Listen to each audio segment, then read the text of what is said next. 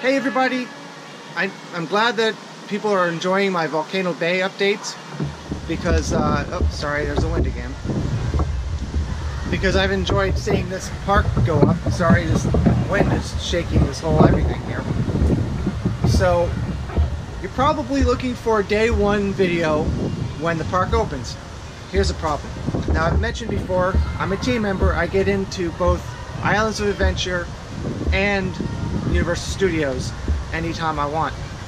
I can only shoot during the time that the park is open for guests. But team members are blocked out from Volcano Bay until sometime in August. Oh, but I'm also an annual pass holder. Well, this is a two-park pass. To upgrade, sorry the wind, to upgrade to a three-park pass, it's about it's $99 plus six and a half percent tax. And moving. And I don't really have that money right now, unfortunately. And that, so the, to upgrade my pass, let's say it'd be 3,514 ad clicks at 3 cents, which is normally what I get. I do have my Patreon link, but I haven't, no one's really used it, so I don't know how much money I have to raise before I actually can take money from it, so that doesn't really count. I do have my Amazon links at the bottom of every video in the description. If you use that and shop at Amazon, it doesn't cost you anything more.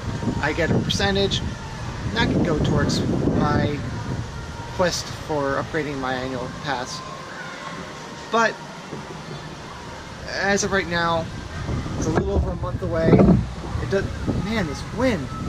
It doesn't look like I'm going to be able to get to go to Volcano Bay until maybe August. Now, not counting the team member preview, but the problem with that is I can't shoot during the team member preview. Sorry.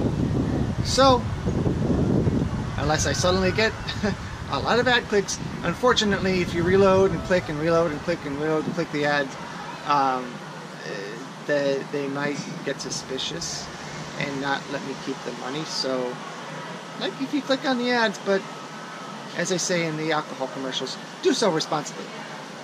So, I'm going to continue going to Volcano Bay and show you the updates. Of course, there's a new Cabana Bay Tower. So, thanks for watching this video all the way through, and please exit to the gift shop.